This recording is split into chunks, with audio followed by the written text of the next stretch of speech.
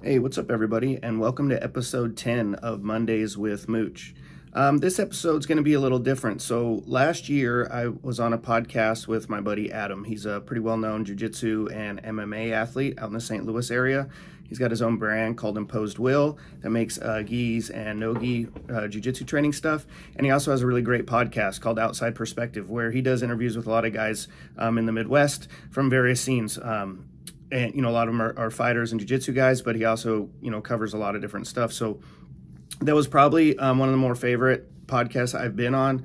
I have a good chance to just kind of tell my story and what brought me out to the midwest.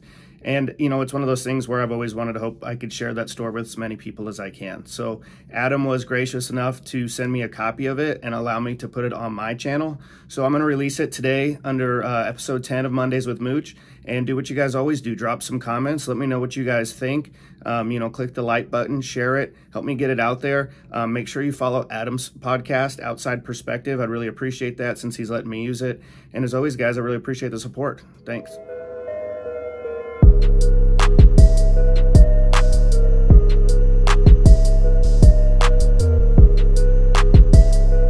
Justin James. Do you go by your actual name? Because I always see like the OG Mooch on Right. there. I'm like, does he go by Mooch? Yeah, most people call me Mooch. Some people Yeah. call me Justin. And actually, uh, James is my middle name, but because of what I do for work, I've just never put my full name. Oh, okay, okay, I okay. don't want clients looking me up. Yeah, I've man. Had it happen before, so. The government name will get you in trouble, buddy. Yeah. but I'm cool with either one. All right, cool. Well, My, my own brother calls me Mooch, but he's also in the club. hmm You know, Ashley calls me Justin. Most guys on the team call me Justin. Yeah. I think. I think. Yeah, I've always just thought of you as Justin. But then I, I do this weird thing where I uh, I associate a lot of people with the name that I see on social media. Same. So in my mind, it's I know even if I know there's a difference, like in my mind, I immediately go to that first name, like oh that's Mooch right there, that's OG Mooch. Right. It's so weird. We I associate people with a handle. I'm like that with whatever I met you as. So if I met you with your regular name before a nickname, Yeah. I'll never remember your nickname ever. That I'm makes like, oh, I met him as Adam. You know. that's how you cataloged it. Yeah. Yeah, dude. And then you meet a lot of people over the course of time, and you can only remember so much. Oh much. yeah. I can't remember, remember. faces way better than names. Yeah, I can't remember. Yeah, yeah, I'm really good at faces. I'm really good at faces. Especially like at the gym right now, there's so many people coming and going. You know. Yeah, yeah, yeah. Especially at, at up there, uh, man. Every time I go into uh, in the heaths, there's you name it. There's somebody from either another country or another state. It's wild. Just either they're stopping in for the day or they're there for a month. Or Right. people, a lot of people stop in with aspirations of being there for a month, but they're not really there for a month. For sure. Yeah, it's so funny, dude. I think that was the difference. You know, I moved out here for the team. I mean, Mm-hmm. that's why we moved here. This was pre-documentary, Mm-hmm. so a bunch of people like, and I was like, "Oh, I'm moving here for this." No one knew what it was, right? So it wasn't quite the same. it wasn't cool when you did it. Yeah, it wasn't cool yet. But Yeah. I'll tell you the difference is I'm a grown ass adult that you know I'm 40 years old, full time job, wife. Like I wasn't trying to live at the gym. And I remember Heath being like, "Oh, just stay at the gym for a while till we figure it out." I was like, "Nah, I got dogs." Like, Right? you You're know, like, bro, I got a whole life. it's a different lifestyle for me. So Yes. I, I came for the team, but not with those aspirations that a lot of these other guys are coming for. Right. Yeah, I feel that uh, that Heath is the patron saint of lost lost souls. Like if you're just a lost individual, Heath is just like, hey man, just come check it out. Just come stay at the gym. We'll figure it out. Just come here. Like you can be homeless. You can be uh, going through a divorce. You could be just trying to just figure out what the next step is. And he's like, yeah, just come here. Just come Right. here. We'll figure it out. And a lot of people are are gravitating towards that place. It's like a mecca now. Yeah, and I mean, not to sound cheesy, but it legit changed my life for the better, and that's what kind of you know, the story we'll talk about today kind of overweaves that fact that it brought me here, and then the good things that have happened with me being here, not just jujitsu related, just life in general. you know? Yeah, yeah, dude, it's a it's a cool place, man. Just the whole energy when you walk, or just in Mount Vernon. I really like the energy in Mount I Vernon. do too. Yeah, It's very mellow. It's chill. Like you get that very small town feel, but um, at least whenever you're embedded into the gym, there's a very like real purpose for being there, and Yep. you have that community. It's really cool. yeah. The community is the best part. I mean, that's what attracted me to it too. Is it's a group of best friends, really. Like, Yeah. I, I grew up in, in bands, traveling in vans, living with you know all these different guys, and then you know club stuff, being on the road with people. So we still, it's the same. We have that camaraderie where we're sharing everything. We're all happy to see each other. Like we're just in there together. you know? Yeah, dude, that's the thing that I miss the most about, um, you know, when you're growing up and you're in sports and you're young. Like for me, just being a part of like a team Yep. and you have that camaraderie, and then you often kind of lose that unless you you find something like you know a lot of people get it in the military. Or I kind of got it with, with like fighting, but that even that was such an like an individual Right. pursuit. Um, a lot of us were a lot of us trying to search for a community. Community is so important, um, but it's, it can be very hard to find that camaraderie. Yeah, And and, Heath nailed it, man. Yeah, you know, he did such a good job. It's so vital to like the human existence. So like we need each other. Like, Right. like we need packs. it reminds me of my high school wrestling room. Like that's what I tell people. Like when I first walked in there, like it's hard working, but everyone gets along great. We're all Right. pretty much kids that need guidance. you Yeah. know what I mean? But, right. But I mean, we're just kind of all like you said, just that wayward misfit, you know, group, the guys that all found each other, and Right. just, you know, the community is uh, amazing. You know, Heath is only four years older than me, but I feel like he's like a like a dad. Yeah, he's younger than me, and he's my boss. You know I Exactly. mean? He just he just has just such a such a cool presence energy about him. I reached out to him. I was hoping we could podcast this weekend, and um, I thought maybe it was Grapple Fest this weekend, but I wasn't sure. Oh, he's yeah. like, ah, brother. He's like, he's like, we're leaving for England. He's like, I'll be back. I think he's, he'll be back on Monday, but. They're gone every weekend. Every weekend, man, which is so cool to see just the growth and explosion yeah, it's wild. with that whole team, dude. Plus, they're all just such amazing individuals, like such solid humans that Yeah. you're like happy to see them doing well. You know I mean? Because none of them have gotten like arrogant or cocky. They're like the Right. sweetest, coolest people. Yeah, So you couldn't like picture better people for it to happen to. yeah, So it's like you just want to root for them, and you're like you're happy that they're being so busy and being recognized and Exactly. doing so well. You know, what I what what is so fascinating to me is how uh, I think I you, you kind of get used to your circumstances. You get used to the things that you, you know that you see all the time. And for me, I'm I'm it's it's not anything abnormal for me to see somebody living in a gym. Like I I've do I've I've seen it in, at St. Charles MMA for so long, and whenever I found out like all those guys were living in the gym, I'm like, okay, cool. Like yeah, we got a, a bunch of guys living in the gym and training. Like it was just it, it wasn't anything foreign to me. right? But then they made this documentary, and everybody gets to see how they're living. And it, to me, it's it's kind of shining light on how abnormal I guess that is, because Right. everybody is just so fascinated by how they're living and their training. And I'm like, man, yeah, it's rough how they're living, but it's like not anything that's super abnormal to me. But it turns out it really is. Yeah, yeah. I It's didn't some like, fascinating stories shit. like that on the West Coast, man. I didn't know people lived at the gym. Like I didn't know that was a thing either. Yeah, you didn't have like people like living out, but like on the West Coast, I feel like people live in like huts and shit out in the woods. Yeah, probably. Yeah, get, get down in California or on the beach somewhere, I guess. But Yeah. So how different is the West Coast? it's wild. I Yeah. mean, I mean, and not like in a in a crazy gangster way or anything like that. I mean, Yeah. it's very fast paced. It's very expensive. hmm You know, it, it, it's pretty much that California syndrome is that there are people from California moved everywhere and driven prices up everywhere. Yeah. just- I don't know. I don't like the pace of life. I don't like, you know, when I, was doing undergrad in LA and when I went back to Oregon, I was like, man, finally a place I can afford to live. And I'm paying 1100 for a one bedroom Oh apartment. God. You know, there's Travis taking me three hours to go 50 miles because of traffic. And, you know, it gets to that point. That's one of the things I love about out here is we don't have traffic. Dude, that's the best know? part. It really puts it in perspective. I've only been to the West Coast like a handful of times. I think I went to uh, I went to San Diego, L.A., and then San Francisco. So each of those one time, and uh, it's definitely a whole different world. Yeah, But- they're beautiful and great to Mhm. visit. Like Mhm. I lived in San Diego, I've lived in LA, I haven't lived in San Francisco, but you know, there was fun at the time when I was young. Yeah, You wouldn't catch me doing it ever again. yeah. How old were you when you lived there? Um, I moved to San Diego in 08. Okay. Um, so I was like 27 or Yeah, so it's like 13 years ago. Yeah, it's like 27, so late and 20s. then I did my undergrad there 2011. So Okay, and you're from Oregon? Yeah. Okay, so Oregon migrated down to sou- Southern California, yeah, and then back to Oregon. back to Oregon. Okay, and you're going to school. You said undergrad in, in LA? Yeah, and then Okay. I did graduate school back in Oregon. Okay, okay.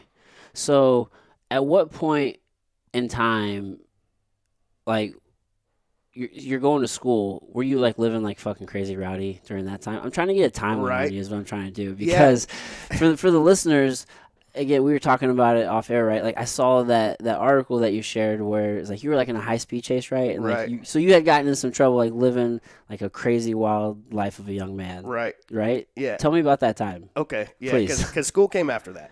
Yeah, that, so that's that what I kind of, like, figured. catapulted me into school. into school. Okay, pause real quick. I need to grab one thing. I didn't grab it. Give me one second. no We'll be... problem. All right, we're back. Yes, yes, yes. All right, I had to grab some papers. Yeah. For the listeners, shout out to Hand Wraps, Hand Wraps Rolling Papers, the homie Justin Bricker. out here trying to do his thing. He's a part of the uh, of uh, Team Vagi. I thought so because I've seen some rash guards or something with his logo on it, right? Or Yeah, man, he's doing a good job. He's one of the best salesmen I know, and uh, this is such a good idea. I really, I'm I'm really glad he's he's like doing his thing, trying to trying to build this company, dude. So shout out to them. Shout out to Una Vida Tequila. it's the biz. Yeah, man, they're really cool, man. I've again um, the owners. One of them is his name is Zach Conley. He lives out in like Win- I think he's from Wentzville, Missouri, um, so just west of here. And his business partner is uh, his name is Bryce. And Bryce, I'm fucking up your last name, buddy. I'm sorry, but either way, he's from Kansas, Midwest guy. So like they they went down to like Mexico and found the manufacturer and like did the whole thing. So it's pretty cool. I really I really like that tequila. Um, into your story, sir. Okay, yeah. Um, so I've got an identical twin brother, and we've pretty much like done everything together, right? Yes. And and it's relevant in the fact that he's involved in most of these stories. um, but like we when when growing up, we like we were in such competitive sports. Like we went to different high schools so that we wouldn't wrestle at the same weight class, or we wouldn't have to like compete against each other. Because you're the same size. Yeah, pretty much. Okay. Not so much. Well, well then, yeah, right. Um, and and because we were twins, I think our parents wanted us to have our own friend group and stuff, but it never worked out. you really. know? So they chose to put you guys in different schools just so you guys could like be independent Yeah. of each other. Great study, but it didn't work. Like we still had all the same friends. That's you know? certainly an experiment, right? For sure. Holy cow! But we got into like the same stuff together. We got into punk rock together. Like we got really into like the anti-racist skinhead scene, and we did all. like grew up kind of in like that gang style of punk rock, hardcore type okay. of stuff. You know, you guys were like like the shit kicking boots? yo, yeah, Doc Martens. Yeah, bro, It was busting really heads. really big in in Oregon, especially in Portland at the time, was like the racist versus anti-racist skinheads. And, Okay, and this yeah. is like pre any of the stuff that's going on now, pre Antifa. Like, Yeah. There was no it- politics aside from. We just go out and smash each other. It was a you know? different time. Yeah. I remember being a kid here in like the Midwest of Missouri, and you kind of see stuff about that on TV and the news Yeah, and like stuff. the '90s, it was kind of a popular thing. it was like a popular thing to cover, and you just have such a, a misunderstanding. Like as an adult, you kind of have more of an understanding of people and kids and how people are. But I remember as a kid thinking, like, man, that's some scary shit. Like you don't know who is who. Right. it's are- funny too, looking back now, is where life is. Right now, I'm a social worker, and I'm like, man, look, I was making social stances back then without even realizing it. you Right? know? Yeah. Yeah. It I was was like very invested in anti-racism, so much that I was very violent about it. You know. you just did it in a Um, different way. But yeah, you know, it's, it's a trip. But that kind of led us into different things. And in uh, 2007, my brother and I started the first chapter of a motorcycle club in Oregon that hadn't been there before. okay. And where it kind of got sketchy was um, the media made it a big, big deal, right? Mm-hmm. And like they do in a lot of places, it's oh hey, the existing club doesn't want the new out of state club here, and there's going to be this war. So they Oh, had they the had story. Everyone hyped sells. up. Yeah. Yep. And there's actually, um, I sat down with the paper to do the interview, and they took a picture of the back of my head, Mm-hmm. and it's like that was like the famous head tattoo from our club now. Like, Really? From that one picture, it's been used for everything. We started a chapter in Australia, it's my head. We started a chapter in Canada, it was my head. Like, Holy shit! How does that feel to I, be? I wish I got paid for it. How many times they use it? Yeah, like a licensing deal or Yeah. something. But it's cool too. You know, I mean, it- it's a, it's a well known tattoo from a, just a one moment.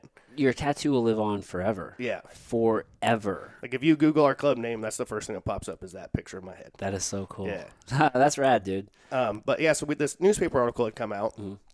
And pretty much was pitting us against this other club. And, you know, it was front page of the paper. So wrestling coach sees it, mom sees it. It's things are getting tense. You guys right? are in high school at this point. no, this was 07, so I'm I'm like 26. Okay. Okay. Um, but you know, small. You know, we all grew up together. Oh, yeah, same seven, type of 20. deal. Mm-hmm. Um, so everyone is starting to see what's going on now. I'm getting a lot of pressure about how much danger is going on, like how serious things are. Mm-hmm. So everyone's on high alert. Okay. Well, my parents live on a, a 140 acres, and they had two houses out there. A little one me and my brother lived at, and then they lived up at the bigger house. Oh man, you've had a very interesting. So you live. Right. you had your own quarters. Yeah, it was sick. That's sick as hell. So, So, but I, I- mean, like super private property, like middle of nowhere type Mm-hmm. deal. You can get that picture, right? yeah. And the driveway up to the house is about a half a mile. Mm-hmm. Well, I'm coming down the driveway in a pickup truck, and an all black SUV's coming up the driveway. And when they see me, they freeze. And you know, people get lost from time to time. So that was my first kind of thing. Hmm. But I noticed they'd like, anytime I'd get closer, they'd back away. They were like shielding their faces. They were just acting sketchy, right? Hmm. Yeah. Like they're not supposed to be there anyway, right? Right. It's private property. Yeah, they passed three private or no trespassing signs to get there. So alarm bells are going off. So I'm watching them, and, and they turn around finally, and we come to the end of the lane, and I needed to go left and head north, and they were turning right. Mm-hmm. And this was one of those moments that I'll always remember in my life where I looked back and go, "Am I going to wish I should have stuck with my plan and went left?" And I was like, I better go right. I better follow these guys. Yeah. So I'm following them. We're going through town. You know, they're looking back, but their windows are tinted, but they're like hiding. They're just acting suspect, right? Uh-huh. Then they get on the interstate and they'd been heading south. Now they're heading north. So now it's like, oh, more alarm bells. So I keep following them. Okay. So I, I followed them by now probably 20 miles. Anytime I try and get next to them, they would speed up, slow down, like it was obvious, like cat and mouse chase. Are you in a car or a bike? yeah, I'm in a truck You're in a truck. and I'm by myself. What's going through your mind as you're chasing these guys? At the time, I was just at first I was like maybe they're lost, and then the way they were acting, I was like, no, they're definitely out here for something. Yeah. So then I start thinking bad guys, right? yeah, and you're like, I can't let these guys get away. Well, my concern was, yeah, that well now I was supposed to be heading to Portland, which was north anyways. So at this time, hey, we're heading the same direction. Let's see who it is. Two birds with one stone. Right. You know, okay, I'll follow them for a little bit. I'm probably being over dramatic. They're going to peel off. No big deal. Yeah. Well, what they did is they took an exit, and I know right off that exit is the other club that we weren't getting along with Clubhouse. Oh, okay. So that's like so now I'm flag. like, That's okay, now I'm going to flag. follow them. So I follow them, and they go all the way to this other club's clubhouse. They park out front. I go and park down the street, so I'm not by myself. And they roll down the window, and they like do one of these waves at me, right? And all I see is a hand. So I'm thinking, okay, now I know what's up. It's these other guys, we got beef. So I start making phone calls. Well, now they get back on the interstate, and they head south. And I'm thinking, okay, well, I don't want to go back to my house because they know I'm not there anymore. Mm-hmm. So I follow them. Yeah. Followed them for an hour. And as I'm following them, more people kind of jump in on the interstate with me, you know? Your that people I, were- yeah, okay. people I had called ahead to. Got, you know? gotcha. Gotcha. And it got to the point where as we were coming up on the town of Eugene, uh, Oregon Ducks, you know what I mean? Like Mm-hmm. Yeah. big, big town, um, which is an hour south of where I live. So I mean, Okay. we've been on the road for a while now. Nike's in Eugene, right? Yep. Okay. Um, I- I'm finally like, hey, I, we need to see who these guys are. They're not letting us get next to them. Like, fuck it, we're gonna pull them over. Okay. So we get, I get behind him. Another guy gets in front of him, slows down, and then a guy came him. up next to him. But the guy that came up next to him swerved at him and frightened him. Well, when they got scared, they hit a siren. Now I was so convinced that these were enemies that when I heard a siren, I'm looking in my mirrors, right? oh shit. like, God, where the hell's this? Where, what's going on It's here? not from that. Yeah. and so then they smashed all the way over in a pretty evasive move to start taking an exit. And one of the guys tried to cut him off, and then he hit his lights. Mm. And when he hit his lights, I was like, oh, fuck. Yeah, You know? like, but I- this but I also isn't- was like, hey, I haven't done anything wrong whatsoever, right? Yeah. That I knew of. Yeah. So I started using my. I can tell they wanted me, right? Everyone else took off, Okay. but they're in front of me. So I'm using my turn signals to show that I'm going to go into this parking lot, and I guess see what happens. yeah. So I go into a parking lot. I sit there. I look in my rear view, and I realize there's about 30 cops surrounding me, guns drawn. Um, you know, my dumbass is wearing like leather gloves and shit because I, I didn't know what was going to happen You're ready. initially. Yeah. You gotta protect your hands. And now I'm sitting there thinking, man, I'm about to get wrecked. Like this is all bad. Wow. So they pull me out of the car, and, and, and kind of the funny part is that it was an ATF agent and an undercover detective that were in the car. Okay. That's supposedly why they didn't want me to see their, who they were. Mm. So the ATF agent comes up to me, and tur this comes out in discovery and trial later, but the cop says, "Hey, hit the radio or uh, the microphone's recording." So he goes and he turns the music up. Now all he's saying to me is, "Man, what a misunderstanding! Not a big deal. We're gonna cut you guys loose pretty soon. Um, you know, I don't see that they're gonna hold you for anything. No big deal." Now in trial, he's saying, "This was when I was yelling at him because I was in fear for my life. All this crazy stuff." Oh wow. And what they did is they put cars in front and behind me, and they escorted me to jail, and ended up being uh, initially was charged with conspiracy to commit kidnapping and attempted kidnapping because they were forced over a lane. Right. Yeah. You like controlled that situation there. Yeah. Wow. So I went to jail thinking I'll be out in the morning. What could I possibly get in trouble for? Right. And they hit. They tried to hit Oh man, I went down to court the next day, and my co-defendants are there, and they both are like pale white, like they saw a ghost, and we're all separated, and they slide this paperwork under my door, and I picked it up, and I just went, "Fuck!" Fuck. dude. Fourteen million dollar bail Whoa. was on like every news station. Yeah, I, I saw what you shared. I'm like, this is like major news coverage here. Because the, the headline was bikers trying to run cops off the road. Right. Which that's just Yeah, that's not necessarily at all what happened. clickbait like like for none sure. other. Yeah, that's the problem, man. You don't ever get the context. Right. Right. They're just trying to sell papers. Wow, dude. And so and so now, did they have a warrant to be on your property? So they're No. they're trespassing at that They point, were right? But the judge ruled we weren't allowed to call them trespassers in trial because that might uh, favor the jury into thinking that they shouldn't have been there. I suppose, yeah. but they shouldn't have. Right. know. Yeah. I They mean, said they were just trying to figure out where I lived and they got lost by happenstance. And Hmm. they also said by happenstance they turned around by that other club's clubhouse. Like they weren't going to admit to what they did. Right. Yeah, yeah, because it was. It, it sounds like okay, so you're you're trespassing. You're on someplace you're not supposed to be, and then you very deliberately went to a location that would leave you know the party to believe something, right? They Right. they wanted you to believe. They, they're they're painting Yeah, picture. I played right into it. Oh wow, dude. yeah, you're like they got you fired the fuck up, bro. Whoa, dude. So yeah, so I sat in jail for over two months fighting it because I, I did have a bail reduction hearing, but the lowest it went was 1.5 mil. Wow. You have to pay ten percent of that, right? yeah. Which is what, one hundred fifty thousand dollars. Yeah, I want- no one in my family has that, you know. Yeah. Um, so I, I sat there, and actually, so I was in 23 and a half hour a day lockdown for two months. So I, I fed in my cell, single cell. Like I would get out for quick shower or phone call and walk, quick walk through the day room and back. And it got bad enough where I started thinking about taking a plea bargain because I was like, man, prison will be better than this. I got to get out of here. I've heard that before where where the holding process is just so bad. People are like, "Let me just say whatever I can to get so much so where I think I've seen something where people will commit or will admit to like murders just to get out of the whole s- so they can just get on the death row because they know living there is going to be better. Well, and in, in prison, you know, you're not locked in your cell the whole time. You've got, you know, you can get a job, you play guitar, you can work out, depending on what prison you go to, right? There's mm-hmm. different stuff. Where Yeah. here, I'm locked up the whole time, single cell by myself. What's The- going the- through the your ple- mind? The plea bargain was two years. And I kept thinking, well, two years isn't bad. But man, I'm such thick headed that I was like, I didn't do anything wrong. I'm mm-hmm. not going to plead guilty. Right. Which a lot of people might have just thought like, "Oh, I'm so screwed. I'm trapped." Yeah, my co-defendants did.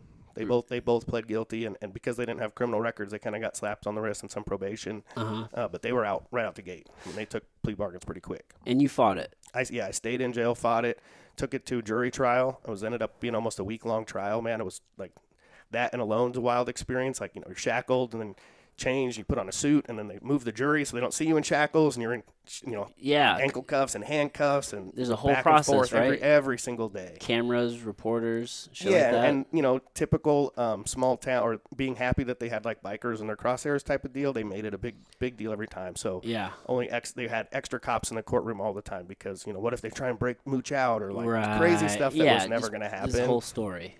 They had one story um, during the day room one day. We were out and they locked down the whole jail. And I remember saying, "Hey, watch, they're going to try and blame you for that." And I was like, "For a lockdown? How how they do that?" Sure as shit, go to court the next day, and they said that they had intelligence that the club was going to try and break me out of jail, which, as far as I know, has never happened in the history of at least our club. I don't even know how you go about doing that shit. No, and man, I'm I'm going to trial. I haven't been convicted of anything. Where am I going to go? You Yeah. know. Yeah. But be, they justified that to freak out the the jury, Mm-hmm. and they just had tons and tons of cops in the courtroom after that.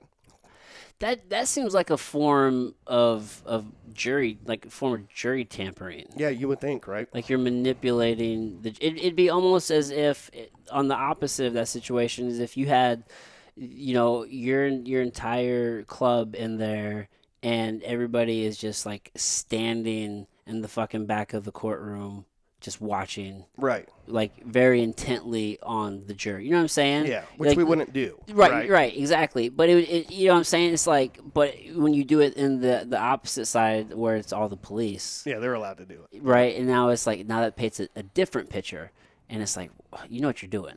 Yep. Yeah, we can only have X amount of people from the club there. Um, you know, no, I didn't let anyone wear their club stuff in there for that reason. Everyone would be was well dressed and supportive. Right. Um, but yeah, so so I took it all to trial, and I, I was found not guilty of all the felony charges. I was found guilty of reckless driving, which was a misdemeanor, and reckless endangerment, which was a misdemeanor. Oh, okay. Um, which is awesome, right? Like, Yeah. But the the judge didn't like me, and was up to her to sentence me. So she gave me the the state maximum she could give me, which was a year in county jail, and then five years of supervised gang probation. Oh shit. And one of those stipulations was I couldn't hang out with the club. Like it's a non-association clause. right? Yeah. Dude, probation is such a scam. Yeah, it's ridiculous. It's it it doesn't because our our justice system once you get into it, it's it's just a mill. It's it's meant to keep you in it. Yep. You know what I mean? Like once you're on probation, it's so easy to violate probation. And it's literally at the at the discretion of your probation officer. If if you piss and, and maybe correct me if I'm wrong, right? But it's like maybe your your probation officer gets a hair up their ass and they could probably find a reason that you just busted probation. easy. And it would be easy for me because I'm not allowed to hang out at the club, and that included my twin brother. And so we You had go to Thanksgiving And and, you just and you just broke the rules. that was an argument, right? So we we actually fought back against it, and I lost. Wow. because the judge said finally her kind of like half middle ground was if it was a specific holiday that we were going to be supervised by parents like some Hmm. ridiculous like that we weren't out sitting around plotting gang stuff or whatever crazy things they think we were doing Yeah. what was really wild is when i so I, when i got found not guilty it's a pretty big deal right Uh-huh. but i was still sentenced to a year in jail so i had to go back you know i was going getting transported back excuse me Sorry, I saw the smoke I'm blowing. no, no, I'm just battling this cold. Um, but this was like out of the movies, man, and it, and it was a trip. Is they put me into a squad car with a bulletproof vest on. Then they had a squad car behind me and two in front of me, and they went. We went down to this tunnel, and then got out of the cars and had to go through this tunnel and came up in a different parking garage, and then taken back like this this in this big like profile. You know what I mean? Like a big deal. Yeah. And I remember like thinking, man, scene. yeah, and I was thinking, hey, you know, we've come and left this courthouse a hundred times in the last week. Mm-hmm. Why is this one different? And they go, oh, well, we were worried you were getting sentenced to prison, and we thought you guys they might try and break you out. So they had this like conceived crazy plan Right. that was so important that they were Yeah. going to do some wild stuff to bust me out for a year in county. I, said- I told the guard, I was like, you know, I only got a year, right? Yeah, it's like wh- why would why would I risk everything just to evade? I one just year? won. I Yeah. just won my trial. In my opinion, I won. you Yeah, know? Yeah. Like it sucks. You're, you're going away for a year, but hey, it's, it's only a year in the grand scheme. Well, and, the beauty of it was, which I had known this, is you know this was like a huge political issue at the time. How overcrowded all the jails were. There was no room. yeah, And they were they were going to use me as, as a, a pawn to show, hey, we got to let this big bad guy go because essentially they have a rating system in jail. Like, what are his charges? Mm-hmm. Is he violent? Is it bad for the community? Well, I'm in there on a driving charge, right? yeah, So they put me into the sentencing matrix that they call it, and I'm at the very bottom of the priority. So out of my year, I'd done those first two and a half months. uh huh. I did one more day, and then they kicked me out, and I had to do a month of work crew, like eight hours a day, five days a week, show up and report and do work crew, Oh, nice. and then that was it. So it was your two year, your two months already time served Yeah. plus the day, and then now you did work, Right. and then plus the five years. And that's the funny part. There was, you know, always some sort of haters or shit talkers, right? They're like, "Oh, he only did a day. What did he? What did he do?" Hey, listen, I already got found guilty and not guilty, right? Right. There was nothing to do, Right. And the fact was, I was in being held in jail on Yeah. a misdemeanor charge, in Right. Overcrowded jail, Right. and they just didn't have room for me, like period. And how about the fact that you just sat in solitary for 23 and a half hours a day for two months? Yeah. What about that? and I kept doing it. So that, Jesus that's the, the Christ. frustrating part. So I get out of jail. I realize I'm gonna have a really hard time not hanging out with my brother in the club. yeah. So um, misdemeanor charges. I start looking into it. They can't extradite if I go to a different state. So I said F it, and I moved to San Diego, which is when I lived in San Diego. Nice. And that's So- when you started going to school. Not yet. No, that was L.A. Yeah. Got it. So I was down in San Diego. I was working for a tattoo shop, hanging out at the club, just kind of trying to get my shit together after just getting out of jail. You Yeah. know what I mean? Were you tattooing or were you like an apprentice? Now, I was, yeah, I was cleaning and cleaning. like learning how to pierce, just basic stuff. Getting Cool. Mm-hmm. paid cash to kick it. You know. Yeah. Lived close to the beach. It was, it was a good time. Were you already pretty inked up by this time? Yeah, yeah. When did you start really getting into tattoos? 16 was my first one. I remember one? on my wrestling team we had to cover them up because it was like they weren't popular yet. you know? Okay. And so a coach would make us like ace bandage over them. Yeah. And by this time, so you're already. So uh, how long. Are you pretty much completely covered? Yeah, my legs are still relatively open, some low back, a little bit of ribs, but yeah, I mean, But like arms, all like all Yeah, yeah. obviously all this, right? So how long did that process take for you? I'm 40 and I started at 16, so you know. You're still getting tattoos, Yeah, not not as much. I don't like them. Right? now. So you you did like a there was there a period where you did like a bulk of the work? probably in my early 20s. Yeah. for sure. Yeah, Oh man, what did it feel like getting your head tattooed? terrible. Really? It was work. I bet I get asked that question almost daily, I'm sure you do. and uh, absolutely insane how bad it hurts. Really? Yeah, I mean it's the type of pain where obviously you can sit there and deal with it, but Mm-hmm. it's not pleasant. The vibrations going through your brain, right? Like Yeah, it's it, your whole head's on fire. Wow, It sucks. The, only, the ones I will say this though, like chest and other places will still hurt Mm-hmm. the whole rest of the day. The minute he stops tattooing my head, it doesn't hurt anymore. really, But it's while he's doing it, it's Mm-hmm. terrible. what are you thinking when he's doing it? Ah, Man, I try and like zone out. I Yeah. try and focus on breathing. Just Yeah. kind of like find some sort of weird zen so that I can like not focus on the pain. Yeah, I try to do the same. I just breathe. I just try to focus on a spot, or I just tell myself, I'm like, all right, this hurts really fucking bad, but it's only temporary. I'm like, this pain is temporary. This tattoo is gonna be badass forever. Right. like, And I know me. I have a bunch of half finished tattoos. I'd rather sit there and get them done than say I'm gonna Right. come back. let's just power through this. Yeah. I always, uh, I always get really uh, bummed out when I'm like, all right, we're, we're almost done. We're, we're going to probably be done with this pretty soon. And then they're like, all right, let, let me just take a break for a second. I'm like, Jesus Christ, dude! Like a break, yeah, and then and then it, it like settles in, like all the pain starts setting in, and they want to come like re-agitate Yeah, I don't spot. do the I'm just like, bro, let's, Let's just get power through, dude. That's yeah, the worst. holy shit. The worst is like when he says you're almost done. Yeah. So then you're like sitting there counting the seconds and he's still wiping. Yeah. Wiping. Yes. penciling. Oh, terrible. Oh my gosh.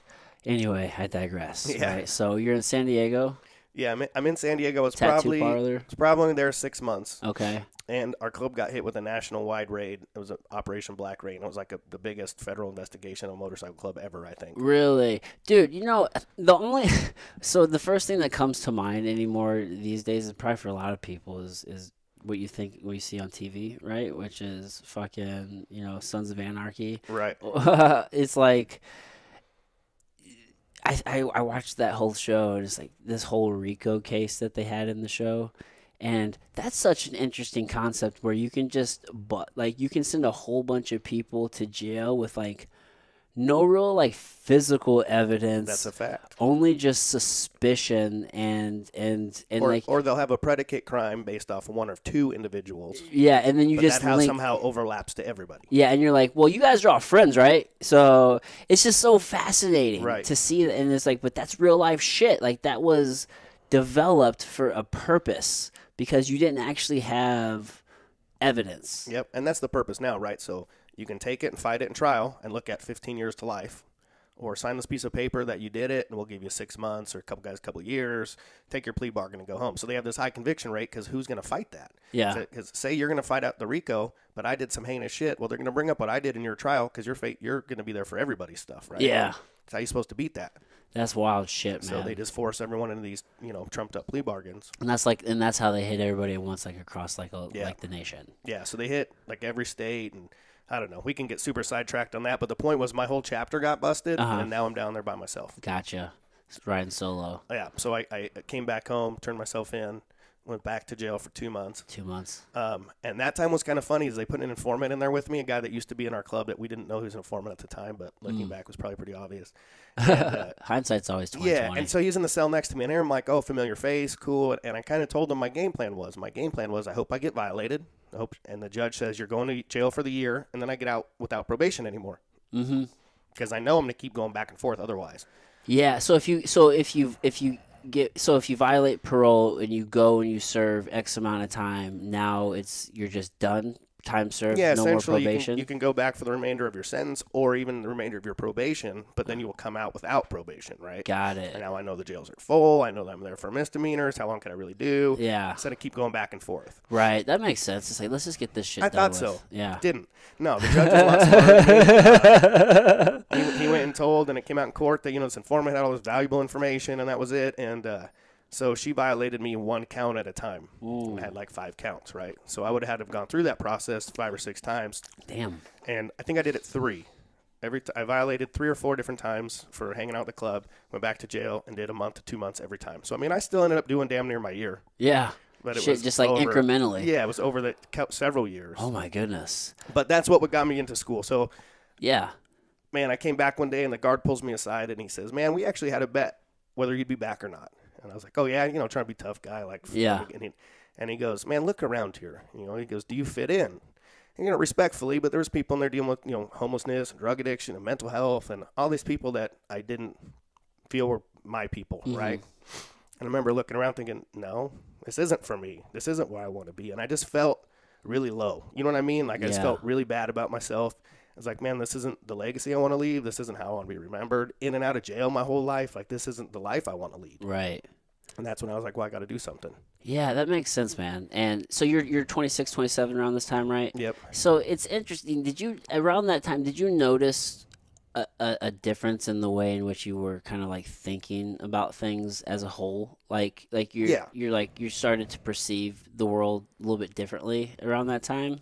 I would say it was probably closer to my 30s before I wrapped that up. But a lot of it was because of distractions I had from other stuff. Oh, okay. Uh, you know, I'm young leadership in this club, and I'm like trying to fill that role and Yeah. do these different things. And Right, I'm still man. earning a, a new name and a new reputation and a whole new world. You're like a young man trying to uh, figure his Right, place out so in the yeah, world, man. I- So I was still kind of going then versus when I finally got settled in and, Oh. and, and life really hit me. Yeah. You know? And the reason I ask is because, and I, I fucking harp on this all the time. I always talk about how, um, you know, typically, uh, you know, the the human brain kind of like starts fully develop. It's like fully developed around like 25. Yep. Typically, right? Yep. So, and I've even noticed like in my like with me and like especially my little brother, and you kind of see across the board, um, usually around like 25, 26. You know, you kind of start, you know, your brain's fully developed. You start thinking a little bit differently. You kind of start becoming more of an like an adult. You have like more of an adult mind. Long term planning, action Right. consequences, all those parts. you know, you have up, you have this know? understanding, right? So all of that shit. So I guess that's why I'm just thinking. It's like so it's it's, it's kind of weird. It's like I wonder if it's like oh man, your brain just kind of turned a corner, and then now you just had this conversation.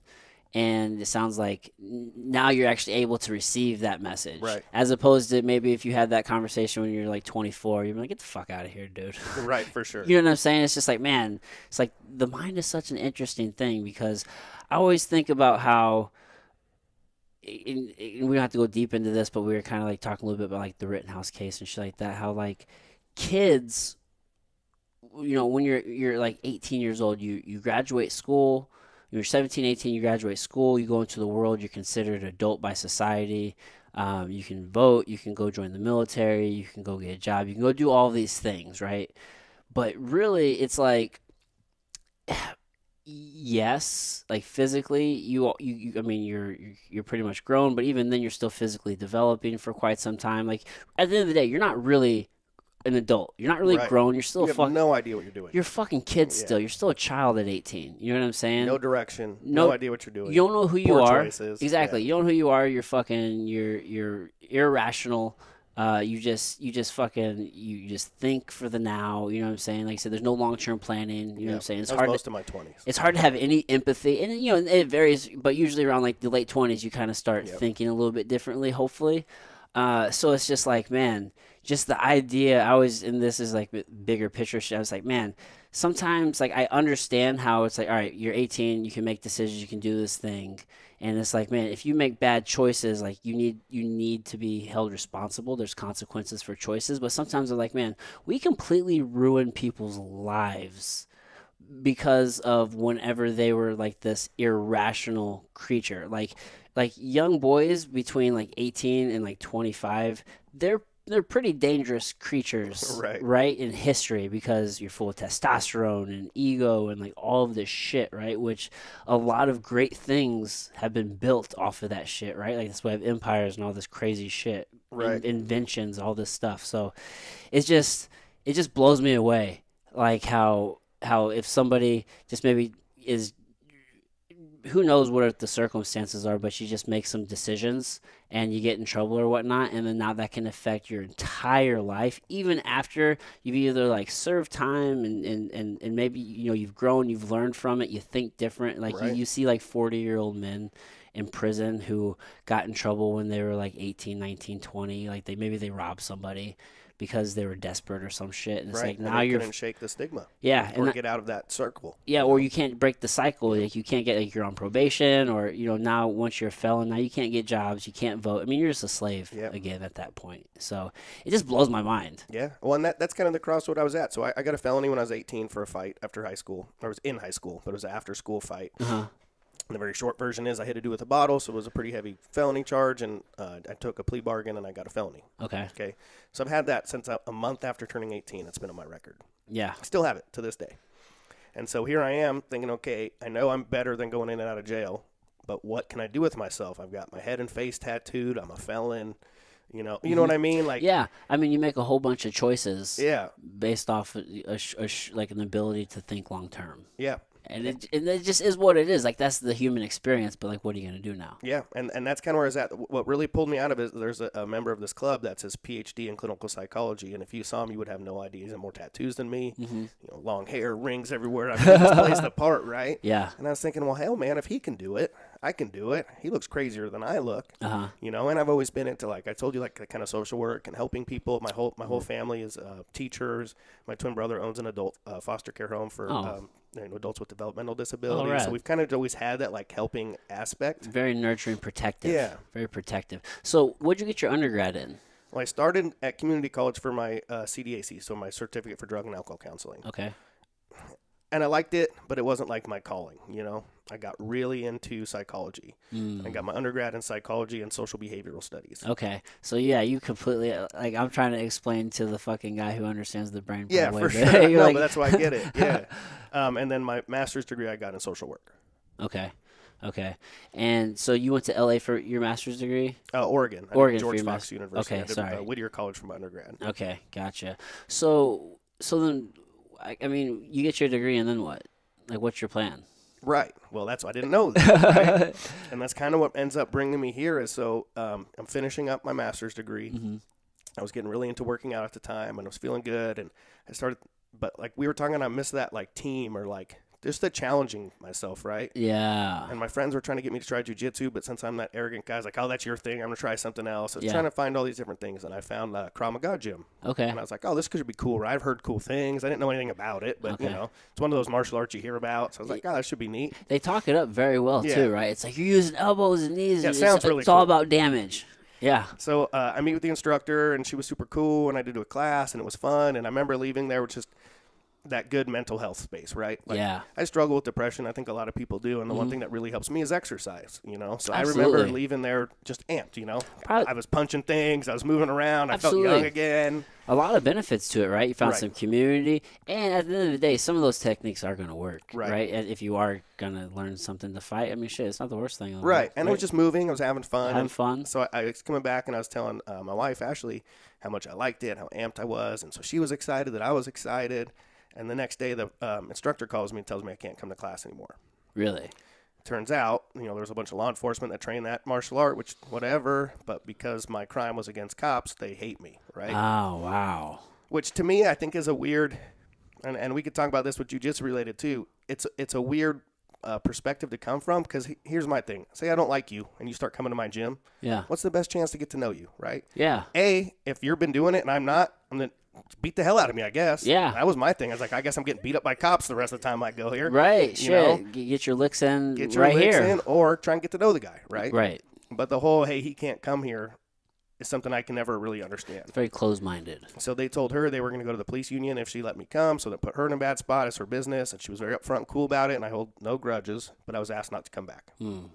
And that's when I was like, well, I guess I'll try jujitsu. Okay. Um, and I went to the local jiu-jitsu academy, and the head coach was a guy I grew up wrestling with. He was on the wrestling team, a couple years younger than me. We had some history. We used to box together, and so I was like, "Oh shit, Nick does this." Oh, you know? so, so you grew up doing a ton of different sports, right? You said you. Yeah, I only boxed for a minute. I, I mainly grew up wrestling. I mean, I- Okay, you know, so as a, mostly wrestling. yeah, as a kid, I did all of it, right? Okay, you play Um, like football. and- Everything, yeah. yeah. Because my, like I told you, my parents or, family was all teachers, so they're also coaches. Like, I was a Okay. track coach, football coach, basketball coach. Oh, so you're a long time athlete. yeah, I was never great at any of that stuff, but I did it all. Yeah, you know? that's important though. Yeah. So yeah, man. So you've just completely grown up just being in teams. Yep. Yeah. And then add that into a you know a twin trying to find his own identity, and it kind of makes sense where I wound up. Yeah. Shit, man. Yeah, dude, that's cool. So wrestling was your thing though. Dude, Yeah. wrestling changed my whole life. Yeah, me and Jeremy did my twin brother. We did mat club in grade school. We wrestled all through junior high school. We wrestled all through high school. Oh, nice. I lettered every year except for junior year. I got suspended for fighting, so I was out a semester. Um, but yeah, I mean, it was a big. You know, I, I was back and forth between varsity and JV. I wasn't like an amazing standout wrestler, but I was, you know, was good enough to keep doing it, and Yeah. I just really liked it. you Yeah. know? Man, I can dig it. Changed my whole life, dude. Absolutely love it. My son just started wrestling this week, and uh, so I'm like I'm helping like co- he's in eighth grade, so it's like it's, it's Oh, awesome. still the kids club, and uh, yeah, I'm pretty excited. I think he's gonna do really well. I feel like man, you can be way better than me. My nephew, who this is gonna sound terrible, but I want to say he's eight. Uh-huh. Um, he just had a, a tournament this weekend. Okay. He's doing great at it. He, Oh, he lost his first match, but then next two were pins under a minute. Nice. Mm-hmm. I mean, first round pins, and like yeah, he, he did great. dude it's so cool it, it gives it gives kids um, so much confidence and like it just it just teaches them how to just like overcome and like Yeah. what it's like to really have like a struggle Yeah, I mean that's what jujitsu is for me. Is once I really got into it, and you get in all these hard positions, and you want to quit, you want to tap because you're tired or in this bad spot. Yeah. Man, I think of that when I'm getting tattooed. I think of that when I'm at a, a shitty spot of lifting weights. Mm-hmm. Like I think, you know, I'm riding in the cold or the rain. Like there's so many moments where I'm like just toughing it out. That I learned those moments from jujitsu. mm, yeah Does that make sense? You know what I mean? 100% man because I had to be there to go. Hey, nothing's gonna stop until this round's over. right Right? Like you're here. Yeah, you know, especially at at Pedigo's, the the one thing I always tell this to people, the one thing that is is f- different about them compared to a lot of places is that they like they don't stop rolling. Yep. So they if you'll be you'll be rolling off the mat, you'll be rolling on onto another group. Don't stop rolling. It doesn't matter because if you stop rolling, that's when you're either gonna get tapped or most likely probably like hurt. Yeah. You know what I'm saying? You're probably. Gonna, I always remember in football, um, the coach would say if you're not going full speed, that's probably when you're gonna get hurt. It's Yeah. usually you know you're going slow and something happens. So it, I just apply that to the same. And every time I've typically gotten hurt in like one of those situations, it's where I just kind of like I'm not I'm just not being sharp enough. I'm being a little too lazy, a little too lax. You know what I'm saying? Right. It's not it's not like I have to be going full go, but like I'm just not, you know, I'm just sloppy essentially, right? And then you get fucking hurt. So it's like, man, you need to be on your shit. You can't Right. stop rolling. You got to keep you got to keep going, right? So For yeah, sure. you yeah, so you feel that pressure, right? Like those guys just put it on you. If you know, fuck man, you know everybody else is rolling hard. We got you know a three, four, five minute roll. It's like all right, I gotta go. I gotta go. Yep. I just try to figure out ways to slow it down. That's yeah, it. dude. Yes. Stay controlled. Do you try to roll most mostly gi or do you like Yeah, no gi as well? gi. I mean, almost every time I've been hurt was no gi. Okay. It's a lot of scrambling and stuff like that. And then now Pulling with on my current, neck. Mm-hmm. yeah, with my new injuries, I, there's no way. I mean, I, I do one day a week no gi. Okay. So I'm moving around, having some fun, learning some new things. Yeah. But not, I don't roll the same at all. Right. Yeah.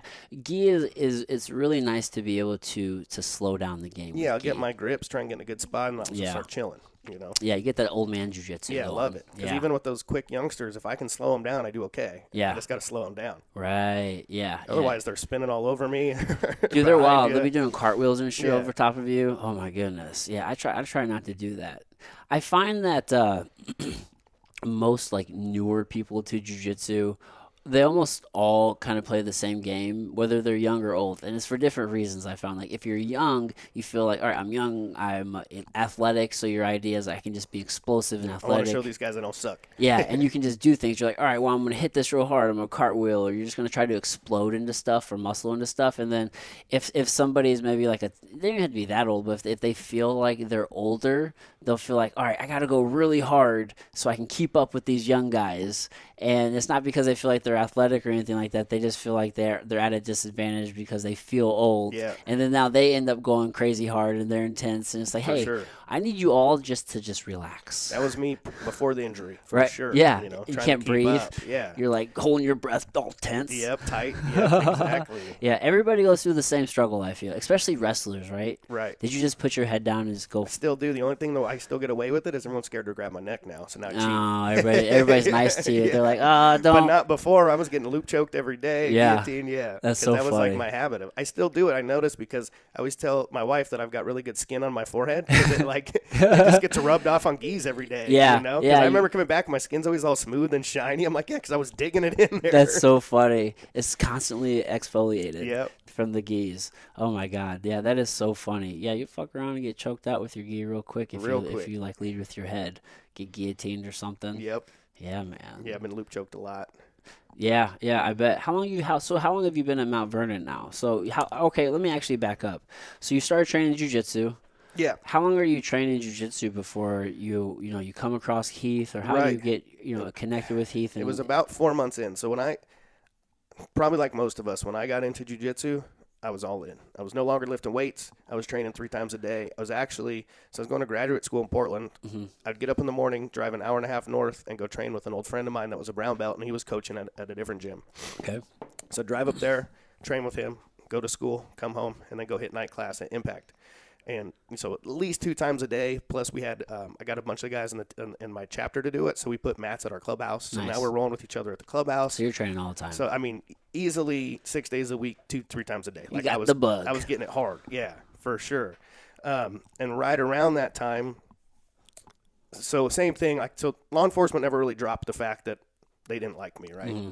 And and kind of a funny caveat to that is I went to a thing for Shoyoroll put on up in Portland. I can't remember what they called it, but it was where they like traveled and showed gis and taught some seminars, and it was cool. You know, uh, World Clan. It was like a World Clan thing. Okay. that they did. So a bunch of guys from different gyms were there, and there was cops training. Well, there was a picture of me and my brother and our gis, and apparently a cop took a picture of us taking a picture, uh-huh. and they put it up at the academy. And it said, "These guys are training. Are you?" It's like to motivate them. Like, Oh "Hey, the my bad guys are getting gosh. it. Are you? Holy cow! What a what a motivating message. But that was kind of starting to go through the gym now. And now I knew, like, okay, my coach was cool with it, but the gym owners were kind of weird about it. And I was kind of back in this. Is this one of those things where I'm going to get kicked out again? yeah, know? yeah, because there's there's quite a bit of law enforcement. Well, yeah, for sure. And, and I'm still very into, like, just getting into the jiu-jitsu scene. I don't understand the politics of it. Uh-huh. Oregon's a lot different than here. Um, so I wasn't confident that they were going to be like, yeah, Justin's cool. Uh-huh, know? yeah, yeah, and it's very still close to home, right? Like this is the law enforcement like in the area. Exactly. Yeah. Mm-hmm. Yeah, it's very personal, for sure. Yeah, You know, and there was a few guys I trained with that were law enforcement. That were all nice guys. We didn't talk outside of the gym, but we got along just fine. You know, um, but it was you know higher ups, and you know how that stuff works. Yeah, yeah, yeah, yeah. Well, at the time, I just got my very last internship for to finish my master's degree, and it was like my dream job. I was going to be a counselor for kids at the prison, the kids' prison. Okay. Stoked, right? Killed the interview, was hired. They send me this address to go for the training. I didn't think anything of it. I show up the first day of training, and it's at the police academy. Mm, shit, what's that feeling like? Man, I drove in there. I'm like, no way. Like, what are the odds? This is the state police academy. So all the counties were there, every state was there, everybody. Dude. So I'm trying to always keep myself in check, and I'm thinking, man, you're being way too arrogant. Nobody here knows who you are. You're not that. You're in a motorcycle club. Like, you're not a kingpin. You know what I mean? Like, Yeah. get over yourself. Yeah.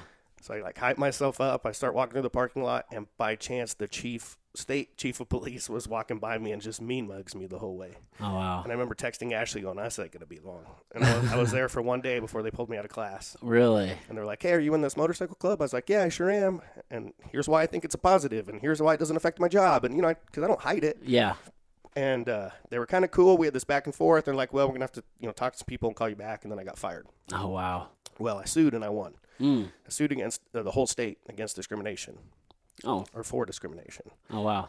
Um, I won a thousand and one dollars, some random monetary amount. and it wasn't a paid job, so it wasn't out money. It was the principal. you know, Right. They paid all my attorney fees, and they gave me a thousand and one dollars. And now here's the thing. Now that sets a precedent, Right. right? So now it's it's it's clear that if they try to do that again in a similar situation to somebody else, they can't do it now. Right. One hundred percent. Yep. Yeah, and, you know, I wanted to do it because I want to stand up for myself too. I said, "Hey, I'm brand new to this field. This is going to come up a lot." Yes. Um, and like, I'll happily talk about being in this club, but I'll also tell you why it doesn't affect what I do for a living. Mm-hmm. Right. In fact, there's certain things that I think is like having the tattoos and stuff like that is almost a benefit for what I do. And you want me to start working with teens? Yeah. Who are they going to relate to? Yeah. You know, the tattooed biker, or you know, They're truly gonna believe what you're saying. Like, they, listen, dude, I've lived this. I, I have the perspective, right? Like, here's the the proof. Like, why would I lie to you? and you know, the whole point of that whole therapeutic rapport is that people want to be heard, like really heard. They want to know you understand what they're saying. Right. So I never have to tell my story at all. I think they can look at me and say, "This guy gets it." Yeah. Like I have that leg up. you Yeah, know? like that's the energy that you give off For sure. Yeah, yeah. So you're logic. So yeah, man, it's like listen, this this gives me a a perspective and an ability to connect that others don't. It's a positive, right? Right. Yeah. So yeah, okay. So I, I sue the state. I'm in all these newspapers. Just finishing school. Finding a job's difficult because my face is on all these newspapers, right? Yeah. Fuck. All I care about at the time is jujitsu, Mm-hmm. and that's when I was like, "Well, hey, I met these dudes in L.A. I'm gonna see what what's up with with Heath." That's So- cool. So Yeah. I called Heath and said, Yeah. "Hey, what's up out there?" And Yeah. Cause were, were they, were they out in LA for uh, for like Worlds or something? yeah, we went down there. So um, I was going back and forth between those two gyms, and then because I was going to California so much for club stuff, I was training with Orlando Sanchez all the time. Okay. And he was like my professor, even though that wasn't like my home gym. That's Okay. who like promoted me to blue belt and stuff like that. Okay. So you weren't like a Gracie Barra guy, but that was your professor. Just if I trained with him, like because Yeah. we, we just did a ton of privates. We do seminars, like at Gotcha. least once or twice a month. I was training with him. yeah, yeah, and I know he took a liking to like Andrew Wiltse and Heath, Yeah. and yeah, and that so I was going down there for Worlds, brand new. Man, I've been, I think I went to Worlds. I've been training four months, but you know, I was in my head. I'm, so- I'm hot shit. I'm You're ready to go. I'm beating everybody. I'm doing great. Yeah. You know? and, uh, so I flew down there with nobody, and I mean, I know the club in town and stuff, but man, I'm a college student. I got no money. Orlando's supposed to pick me up from the airport. I'm gonna go out and stay with him and then train the whole time. Well, he forgot about me, so I paid like a hundred dollar Uber ride out to, to Orlando's house. He wasn't there, so I go to the gym and I just start training. I he texts me, he's running late, just start training. So I'm training and doing pretty good in his room. I feel starting to feel real confident. And then the Daisy Fresh dudes walked in. And you know, I kind of stand out. Ronda was there. He's being loud, you know, and I love Rondo. group of guys, and he's being super nice. And And uh, so right out the gate, I start rolling Josh Graham, and I remember looking at him thinking, okay, he's smaller than me. I'll probably, you know, he's a white belt. I'm a white belt. I was doing real good against the other guys here. Man, I bet he traveled with me six times in one round. Like Really? he manhandled me. He treated me like I was brand new, brand new. I mean, I was, but you know what I'm saying? Like, Right, Not yeah. like anything. Everything else, I was like, man, I'm rolling really good. I'm gonna do good at this tournament. Yeah. He made me was like, man, dude, is jujitsu even for me? It's like a shattered reality type thing. But it was great too because I instantly was like, "Who are these guys?" And I want to train with them. Yeah. you know, like these guys are kicking my ass. Get me in on this group. yeah. you know, Well, I think that's the right reaction. yeah, it was awesome. You know, and then they were just really cool guys. We hung mm. out a lot. So then the next day was the tournament. Orlando didn't show up to it, um, and I didn't have a coach. Mm. So I went up and was talking to Heath, and and uh, um, Alejandro ended up coaching me, Okay. who I didn't know. You know what I mean? They were Yeah. just helping. Yeah, they're just so always down to help. Yeah, and so I, I linked up with him and Garner and some of the guys from the team that were there, and I spent all day at Worlds with them all night. We went out to dinner together. I didn't have a ride back to Orlando's, Mm. so um, they gave me a ride back. Yeah. So we ended up going to dinner. So we just all really clicked and hung out. Yeah, you know? they're, they're they're just such good. Like Heath, uh, just gives off such a good energy, and it's it's very like calming and like welcoming. yeah, and Yeah. It, they provided exactly what I was looking for. You know, I was training at like three or four different gyms. I didn't feel like any of them was a home gym. Yeah, And then coming from like I said, kind of gang stuff to club stuff, I was looking for like that tight knit community, like a real team. right. And I saw that with them right away. hmm Yeah, And I, I remember coming home and telling Ashley, like, that's where I want to be. Those are the guys I want to be with. Yeah, you know? yeah, yeah. It's just everybody just looks out for each other, and I, I always like when Heath invites people um, to come train because it's all is literally just like an open invite. There's zero pressure, Yeah. with it at all, and like and there's there's no strings attached. He's like, yeah, man, just come out, stay, chill, like train, For sure. like come out and get better. like he loves it. yeah. Yeah, man. Yeah, he definitely just wants to help people, man, and, and that is super apparent right out the gate. Like, I Mm-hmm. Never felt bullshitted. I never felt like, what's the benefit of having me on the team? He knows I wasn't coming out there to try and be a world champion. I'm not putting points on the board. Right. I'm just coming to hang and be part of the group. He just likes you know? having good people around, and you like to help people, right? So Yeah, I mean, for that, sure. that immediately aligns with, I mean, I mean, your ethos. Yeah, yeah. I'm, honestly, like right out the gate, that's my big part. I feel that's what I bring to the table, right? Mm-hmm. I'm a good friend to everyone on the team. I'm there for anybody if they ever need anything. Yeah. That's what I'm here for. you Yeah, know? man. So, so now, I mean, you, you you moved to Mount Vernon. What was that transition like for you, like here in the Midwest? Because the Midwest is It was a different than the West Coast, bro. Right. So I kind of touched on earlier that I used to be in a band, so we traveled a lot. We played all over the country. So I'd like seen clips of the Midwest, but Yeah. never spent time in it, right? yeah. So, oh, dude, yeah, I don't want to gloss over that. What was it like being in a band, dude? It's crazy. It's You're- crazy. you're Imagine like- a bunch of guys and they're like, You're in a punk band, right? yeah, we're like early 20s. From the eh, from the region of punk band, Right, Right. yeah, you know yeah. what I'm saying? You're not like some some Midwest people trying to like be a punk band. Like you're there where like all the punk bands are at. Right, yeah, and we toured with all like the bigger name punk groups in the '90s, you know, and uh, put an album out on one of Rancid's record labels. We Oh, played wow. like the Warped Tours and CBGBs, like all Really? the cool spots. Yeah, we did some really cool shit. so cool. What's the name of your band? Should, The- it's called The Escaped. the Escaped, It's hard to find because it's such a cheesy, generic name, but bro. The Escaped. I posted a bunch of it on Instagram yesterday because it's actually on Instagram Music, some of our old songs.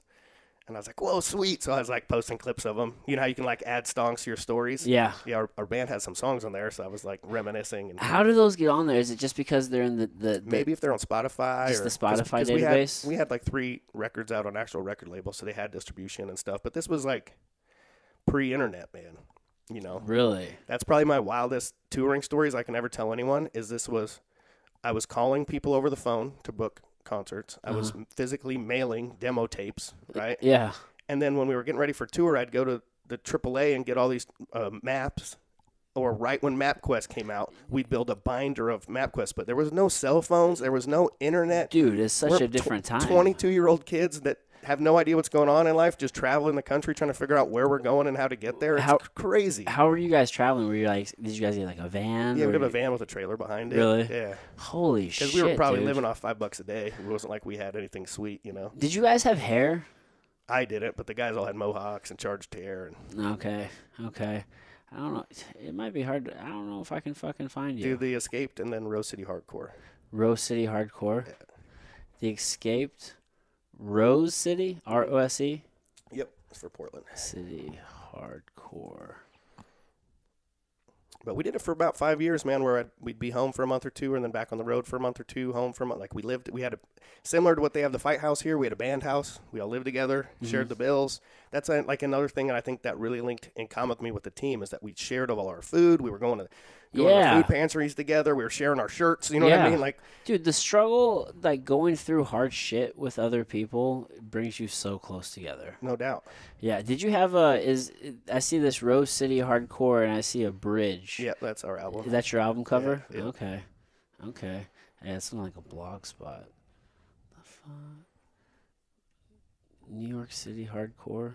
What's that? I don't know if that's you. Man, see, this is why I need a Jamie Vernon, bro.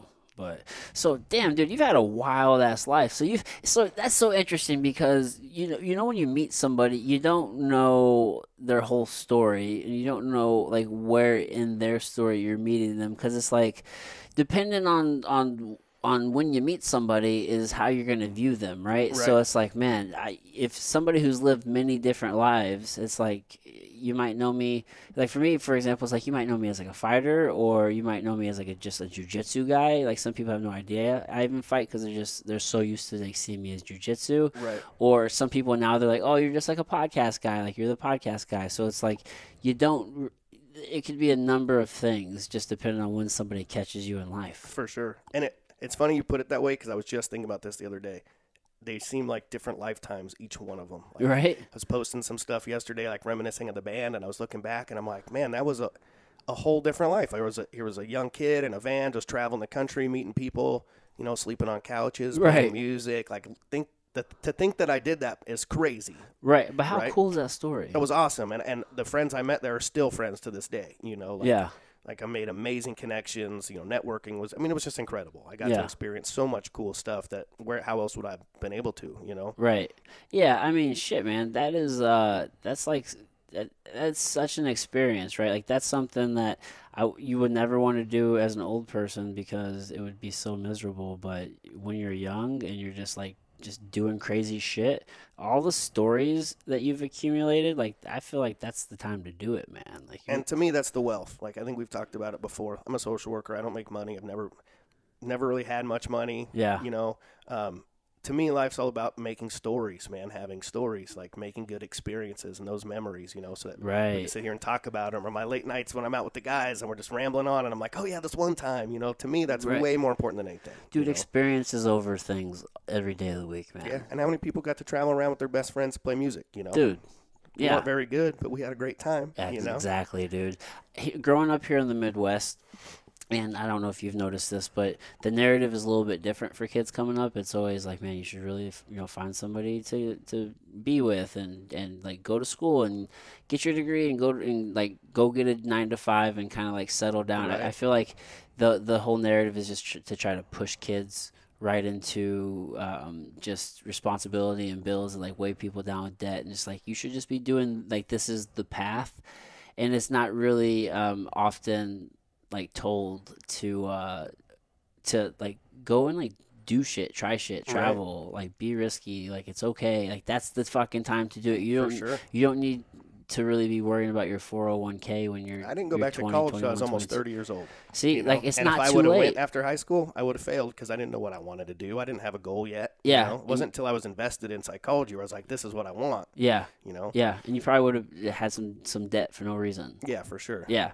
and oftentimes it's especially coming right out of high school. It's it's like uh, you're a loser if you don't take that path. Definitely. You know what I mean? And it's like, man, why, I don't know why you're making kids feel that way because life is is, you know, it's in the grand scheme it's short, but it's actually pretty long too. You know what I'm saying? You know, you don't have to have it all figured out tomorrow, but when you're a kid, you feel like you have to have everything figured Yeah, out there's plenty yesterday. of time for it to work itself out. yeah, you feel like sure. time's running out though when you're a kid. You remember Right. that feeling? Yeah. Dude, it was crazy. Another big difference too, and, and this is probably more generation than regional, Mm-hmm. but there's not the same pro-social activities around for kids that there was for us. Like for me, there was t-ball, there was wrestling, there were, you know, mat clubs, football. Like Yeah. we were busy as kids all the time. We never had a lot of time to just sit around. And when we weren't, you know, culturally was way different too, right? So Mm-hmm. we were, if the sun was out, we were out playing football or we were boxing or you know what I mean? We are riding bicycles, doing dumb stuff, but we were out being active kids a lot Yeah. that I think shaped our generation a little bit different too. Yeah. Because, you know, how much did you learn from sports? Sports taught me a lot about what I know about life, you know, and Mm-hmm. in fact, enough that that's why we're still drawn to them, right? We're still competing and doing sports, you know? Yeah, dude. So much so for me, I look. So I look at at at like movement as a whole as like like a like a form of expression and like like it's like a, a language in itself. Like you look at body language, that's like you know that's nonverbal communication. That's just like the movement and like the subtleties in our body language, right? So I look at, at movement as like an expression. And for me, I feel very comfortable when I'm doing sports. Like I feel good when I'm wrestling. So you know how you know how typically whether it's wrestling and then you go and do jujitsu and there'll be there'll be things that are like similar, but they'll have like different names. Right. That's why I'm like movement is kind of like is is like the expression, and then and then however you whatever you learn first is just kind of like the language that you use to to, to like explain the movement. You know what I'm saying? So like if you're a wrestler, then you might use these terms. If you're a judo guy, you might use these terms. If you're a jujitsu guy, you might use these terms. But they all kind of mean the same shit usually to explain a certain particular movement, Right. right? So for me, I always say that wrestling was like my first language that I learned. So whenever like I'm learning jujitsu or something, I typically like relate it back Yeah, no, to, that makes sense. to wrestling. I don't know what my point was with that though. Well, I, and I guess mine was just if you just think the life lessons you learn, right? Like if you want to get good, you have to put in the work. That Yeah. actions have consequences. You're not gifted anything in sports, right? You got to put in the work. You have to put in the work. Yeah, Those yeah. are things that stuck with me, even in the band, right? We're not just going to meet someone famous and they're going to jump us on tour. We had to keep playing shows and being active and working hard and making yourself known. Like, Right. all that comes to me from learning that in sports. That's what practice is for. That's the point of practicing. That's Yeah. you know, the dedication, being on time. Like just so many things you learn at sports and you don't realize Yes. how important they are later in life. You That's know? very true. Yeah, yeah, yeah. I've, I've learned so many. The, like the one thing that always sticks with me is like, uh, you know, if you're if you're on, you know, if you're early, you're on time. If you're on time, you're late. I remember football. I always heard that shit all the time. But I, like I said, wrestling made me realize what it really means to work hard. Yeah, there's accountability piece big on those individual sports. yes, For sure. yeah, yeah, and it was and it was that sport that was uh, it was the first time I was ever broken. Like our coach made a point to like break us down so he could build us up. Yeah. And I remember one time in particular, it was like a Sunday practice. We came in. Um, I felt I was kind of feeling like I was hot shit because I was um, like I, I tend to do the best on the team. Like me and my practice partner, we both did really well at tournaments. I'm like, all right, whatever. So we come in. Usually it's just like a lift, maybe a run, um, maybe we would wrestle or something. But uh, this day, coach seemed to have a very uh, particular mindset and agenda. He seemed a little pissed off. He made us lift crazy hard. It's like steaming in there. We lift crazy hard. Then we go, we fucking run really hard. We had to go run um, around the hallway, and uh, you had to make it around in like 45 seconds or something like that. And uh, so you're sprinting. And if you didn't make it in that time, then they added one. And I think we ran like 16, which I think that's the equivalent of like two miles. So we basically just like sprinted two miles of that. So then after Right. that, we're like, oh, surely we're done. We're all really tired. Nope. We went and live wrestled for another hour. Crazy. Crazy exhausted, dude. We're all crying. We're all exhausted. Like he got through it. he broke us that day, right? But then I realized I hit because I hit a second wind. I'm like, man, you think there's times where you're about to break, and maybe you do break, but you're actually like maybe breaking through a wall, and you can do more than you thought possible, Right. Right? And it's all it all is with the mind, Yeah. right? So it's like, man, And there's the team piece too, right? Yeah, You're man. miserable there with other With people, other that are going through the same misery that didn't quit on you. They're sticking it out. So those those connections, which that Right. translates to where we're at now, the teams we're on now. You know what I mean? Like, yeah. Yeah, man, it's it's uh, the community is my favorite piece of uh, jujitsu. yeah. yeah, It's my favorite piece of everything. You Yeah. Because to me, I like making connections. I like meeting people. You know, and, and that's the biggest part. Mm-hmm. Yeah, know? yeah, and that's as and that's probably the strongest like the piece about Mount Vernon, right? Which is kind of what For drew sure. you out here. Yeah, half the time I go to the gym to catch up with the guys. Yeah, just know? have a good Be- time. Between A, I need it for my mental health, and B, I just want to go BS and catch up with the guys. Yeah, a you lot know? of it's for mental health for me too, dude. It's like, Yeah. oh man, dude, especially this time of year, man, when Yeah, it's I'll notice it big. it's only you know daylight for like eight hours. It's like, oh my gosh, dude, this the the seasonal uh, depression is real, man. I, I try to, I'm trying to do better about just making sure I'm getting the sun exposure when I can. Yeah, that's what was hard in the Northwest for sure. That Yeah, did hard. that really like? big time because Yeah. summers are amazing. You're having this great summer. You're outside. You know, there's so much to do there. So you're in the mountains or you're Yeah. boating or on the lake. You're spending all the summertime, and then all of a sudden it's just gray and dark for six Oh months. gosh, And that hits you real hard, real quick. how cool is it riding your bike through the Northwest? Amazing, Oh my gosh, amazing. Definitely way different than here, right? Yeah. Now it's just flat, straight. You know, um, it's beautiful. Yeah. it's definitely I beautiful. dude, I've never seen like the redwoods and stuff, but Amazing. I, it's so high on my priority list to go check out. and even stuff like that we got to do on tour, you know, because we'd be like, oh, let's go, let's go this way home or the back way. So there was stuff we got to see as kids too, you know, Yeah, or because we were all broke, we'd camp.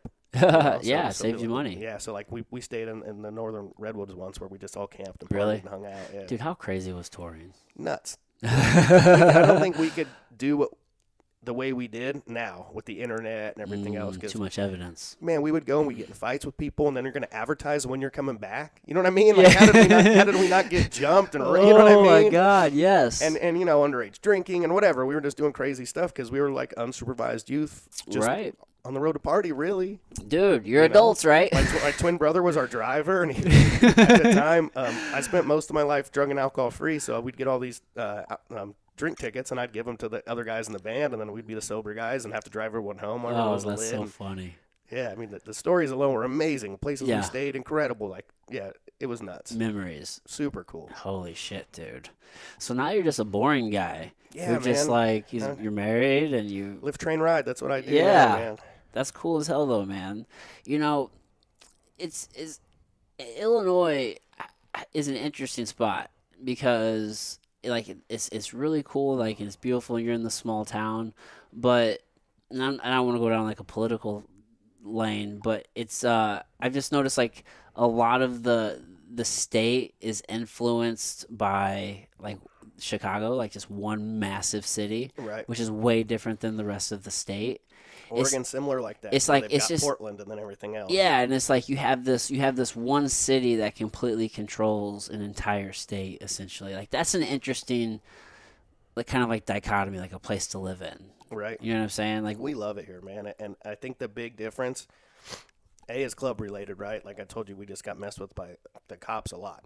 hmm right. Here, I'm not dumb. I'm not naive. I know if we go out and break the law, we're going to get in trouble. hmm But if we don't, they don't mess with us here. Right. So that's especially coming with the personal beefs that I had. I think the way I was treated. Yeah. That's been huge. The pace of life, the low cost of living, which f- works well with my my uh, you know what I do for a Way living. cheaper, right? Yeah, man. I mean, all of that stuff has made life so chill and easy here that it's we're just so happy to just flow, Yeah. right? Yeah. Like that is the best way. And and here's what's crazy: I grew up in all these different areas doing these gnarly things. I feel like my tightest and closest friendships, no disrespect to everyone back home, is right here. Yeah. You know, Like you found like I've home. met some really good, just genuine, solid people. Yeah. and I would have a hard time leaving. Yeah. you know? We're, lo- we're locked in. We ain't going nowhere. Dude, love it. And now you're doing social work here. Yep. Yeah. You have your own program or Yeah, I'm a supervisor of a. Uh, uh, um, it's a group called multisystemic therapy. Is the Mm-hmm. type of therapy we do. So what we do is we work with teens that are on parole probation, okay. uh, 12 to 17 year old roughly. And what's cool or different than us, or about us is that we work with them in all of the ecology, right? That the multi systems. Mm. So we, I can work with their coach, I can work with their teacher. So we don't actually do much counseling with the youth alone. It's very caregiver focused because you'll notice a lot of these times in broken homes or issues, it's it's you know the family the family system is is where there might be some drivers or things that are pushing those behaviors. Yeah, yeah. So you're taking a very like holistic approach, right? Like you're you're you're working as a team with all these different right aspects. because the goal is we're not coming there and fixing anything we're coming there and empowering caregivers Mm-hmm. To keep it on when we step out of the picture so it's very intensive but it's only a four month program but we're meeting when instead of them coming to see us we go to their home we're in the homes we're in the schools i go to court with them yeah. three or four days a week per client hmm And what you're fi- so is what you're finding a lot of your so a lot of it is just is just rooted back in, in kind of like the home situation with yeah a lot of these. time man learn, yeah. learn behaviors and, and Yeah. family systems for sure Yeah, man. From I guess what I've learned is that you know just so so much of uh, I, it can manifest in many different ways. I, f- I found it I guess in people, but it's it's all ro- like rooted back in like trauma. Yeah. Whether it's like maybe you're obese or you know maybe you're you're like lashing out with violence or you know maybe you're pushed like schizophrenia. Whatever the case may be, like I just threw out some crazy examples, but it's like No, but you're right for Like, sure. A lot of things are very trauma based, it's and usually that's why most trauma. therapy now is trauma focused because we we recognize that, right? We recognize a lot of behaviors are based off trauma. yeah, What's cool about the program we do, or the type of therapy we do, because I transfer this to everything in life now, yeah, is we have these things called fit circles. So, say your issue's going to school on time. Mm-hmm. I'm going to put that in the middle of the circle, and I'm going to say, what drives that behavior? Okay, he's up late at night, maybe doesn't want to go to school, Mm-hmm. he's got bullies at school. So I put in all these things we call drivers, Okay. and then I attack them one at a time. Hmm. So if like, okay, now I'm changing your schedule. Maybe now you're now you're not staying up so late. You're not tired. Okay, now you're getting uh, better communication with your teacher, so you know when homework's due. Like if we fix the little drivers, we'll fix the overall behavior instead of being like, oh, here's medication or Yeah. oh, talk through it with me. We're actually making quality fixes where that once we're out of the picture, they still have the success and the support they need to move forward. Yeah. And so that's been super cool. That's important, right? Actually treating the cause. Yeah. You know, I feel like there's such a we have such a failed like healthcare system in so many ways in that I think that we're just it's it's such a it's it's a it's it's a model just based off of of just what's a symptom and then what is the pres- like the medication that we can Right. you know as- you know to give them to address a symptom right it's never really well what's the actual root cause of the problem Yeah, and how how, can we and how do we fix that right and actually make them healthy right like that's the health care as opposed to just like putting the band-aid on it and just you know sick care Right. right And Just I won't ever advocate that medication doesn't work, but I would say this: it works in conjunction with other things, right? It works Right. with therapy, or like we were saying, for depression's a super common one where if you're physically active, you feel better, right? right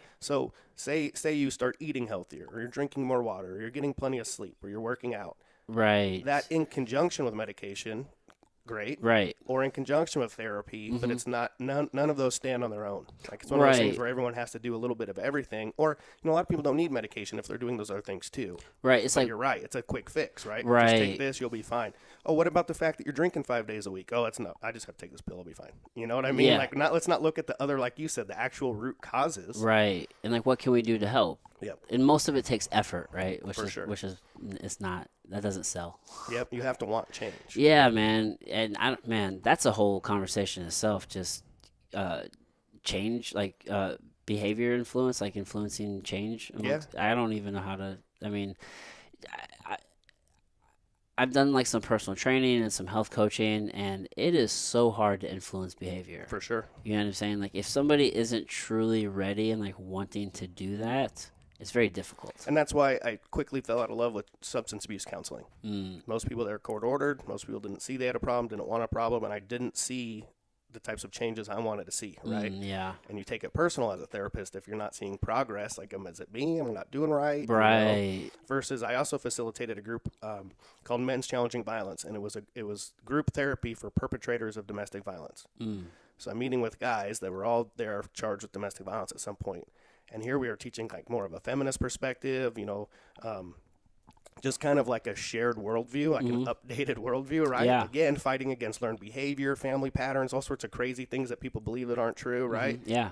That's when I saw major change, and that's when I was like, "Oh, this is awesome" because I can physically see it. You know, Yeah. you get a guy that comes in one day that's possessive and controlling. He doesn't think he is. He thinks it's normal and okay. And then at the end of the program, Yeah. he's like, "Man, you can't say that about her. You can't talk to her like that." You hear him saying that to other people in the group, and Yeah. that is what's rewarding, you know, Right. but that's like you said, he's physically seeing that change Right. is is a huge difference. You get some real feedback there. Are you um are you like uh have you like kept up or like anything or researched on anything with um like the the use of like psychedelics or like psilocybin for therapy? Is that anything you've been looking into? yeah, yeah, or- because I microdose, so I know it works for me. yeah, you know? is that something that you're you're interested in like facilitating like psycho assisted therapy? It's tough, right? Because everything I read about it's such a controlled environment that a lot of it sounds almost awkward, right? Okay, yeah. Like I'm gonna sit here and smoke this with you, and you're gonna talk me through it. I don't know if I'm in the mood for that, right? yeah, yeah. I don't. I don't know what like what it looks like or, or how it works or anything like that. I know I've heard. Um, do you follow like Rick Doblin and like MAPS or anything like that? So Rick Doblin, I think he's based out of San Francisco, and MAPS is the multidisciplinary um, Association of Psychedelic Studies, and they've just they've done a lot of work in the space. Uh, I think since like the 70s, and I believe they're on like stage three trials with uh, I believe MDMA, and I think they might also be working on psilocybin. I think mushrooms, um, San Francisco and then Oregon got some license where they can start working with that in the studies too. Have they? See, so it's like we're we're, they're, we're I feel like we're pretty close to to a time, and I think according to like Rick Doblin, within like maybe maybe like next like three or four years even, Yeah. to where we're gonna start seeing these clinics pop up across the country, to where you know people can go for therapy and they're going to need like therapists to man these. So I don't know Right. what like what the certification or the training or, or anything is going to be like. So That'd be cool though. yeah, it's almost gonna be like the Wild West. So I, I almost wonder, you know what I mean? Like I wonder what the train's gonna be like. I'm, I'm sure it's gonna be a uh, like a controlled environment, but you would hope it's like an inviting, relaxed environment. It's like it's like you walk in here and it's like, all right, we're just gonna chill in the living room Right. and like do this thing. I don't know. I don't know what it looks like, but it, it's super intriguing. Yeah, it's cool. I mean, it's it's obviously it's already proven that it positively influences brain chemistry, right? Right. So there's a bunch of positive benefits. Now it's just figuring out how do we make how do we roll it out and make it work. Right. Right. Yeah. Yeah. I don't know. I don't know what the answer is, but I'm, I'm, I'm excited about it. I think it's cool I'm very excited. I'm glad people are figuring it out. Right. for sure. I almost think that you have to have a pretty heavy experience to actually appreciate microdosing because otherwise you're just wondering is it working Right. you know what i'm saying And that's a lot of people just say I don't feel it or I don't want to trip, and you're like, no, you're not gonna trip. But here's the like trying to even explain it, or you're like, hey, was that a good dose? Oh, I don't know. I don't think I felt it. I mean, it was probably a good dose then, right? right from a, yeah from a microdose perspective right and that's why i'm like man maybe you need to have like a little bit of heavier experience so you're like all right i know what the come up feels like i know Yeah. what the ride feels like so you can kind of ride the wave and then when, when you do do a microdose you're like oh, okay okay i can feel that i can feel that Because I'll do it before a roll. I like to do it before a roll. You yeah know, i feel tuned in um, I do kratom before I lift. Like there's certain things I do as like pre-workouts. Yeah, I like kratom a lot. I do yeah, too. yeah. I um I did some psilocybin last night. Nice. I yeah I was I had this podcast this morning and the psilocybin kept me up to like two or three, and so like I woke up probably at like what time did I wake like probably like ten or ten thirty. 10:30 probably, and I think we podcasted at like 11 or something. Oh, So- straight to it. yeah, so I was only up for like an hour, dude. And I'm like, I'm, I'm, drinking coffee. I'm talking to the guy. I'm like, man, I'm sorry, man. Like, I had some psilocybin last night. Like, I just didn't want him to feel like, I'm like, man, I'm just sorry. It's just really early. I've only been up for an hour, bro. But I just really enjoy those experiences to where it's just like, just kind of tap in, see how I'm feeling. Um, it, it just allows me to kind of just have some perspective on some things. Yeah, it's good. And just work through some thoughts sometimes. But you're going through with that structured plan already, right? Like I'm going to do this to work through things. Like you have to kind of be in that mindset. for sure. Yes, yes. I don't like. So I feel like a lot of people have a, a misunderstanding of of like they think, or uh, what like what is tripping, or I'm gonna like what's a hallucination? I'm gonna have Right. like they don't understand. It's like no man, I'm not gonna sit here and think I'm a fucking glass of orange juice. I'm not Yeah. gonna think there's a pink elephant I've over done way there. too much of all of those things and still have never gotten there. that doesn't know? happen Yeah. right you know so but people have these weird misconceptions in, in their mind of like what the experience is going to be like right. And it's scary if that's what you think. That was like the first time I tried, tried DMT. Right. The only reason I was able to do it is I had it in a vape so I could work myself up to blast off. Mm. Because my initial thought was, you're telling me I'm going to take one hit of this thing and be on a different planet? That Yeah. scares the shit out of me. bro bro have i ever told you about when i did the dmt for dude I don't think so.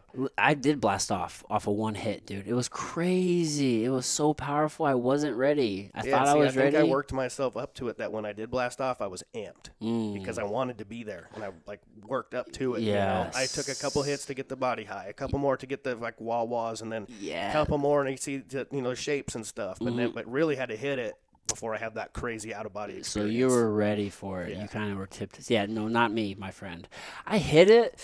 I was like, and then I was just thinking, kind of like when you do like psilocybin or LSD, how the experience is still very much like here, right. right, in this plane of existence, Yeah, dude. I thought that was going to be the case with DMT, right? And I, I'm looking up and I see some geometrics for a second, and then all of a sudden, like now in hindsight, I know what happened was like I saw those and I got super overwhelmed. Like as I'm blasting off, I closed my eyes. I didn't realize I closed my eyes though. I just like just took everything. I, Yeah, mine like feel like they were forced closed. Yeah. trying to keep them open, and all of a sudden I was like, bam! And the minute I closed, I was flying through space. out of exactly same thing, dude. Like it- like opening my eyes, like I felt like this thing overcame and just sucked me up. Yeah. And then I was just. It's so funny talking to people that have done it, how similar their experiences. It's the only drug that I've ever done with other people where we've all had very similar Dude. experiences. Like I had like I'd done so much, just getting ready to blast off, and there was kind of this shadowy creature in front of me, and he like slowly touched me. It wasn't scary, anything was there.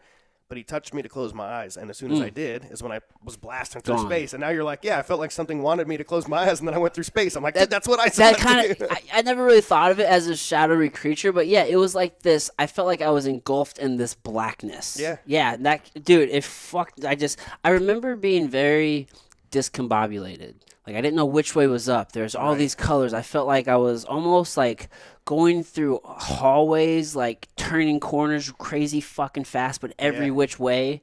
I didn't know what. what I was like in a coliseum. Same. yeah, dude. And I, wa- I felt like I was gonna be there forever. I was so scared.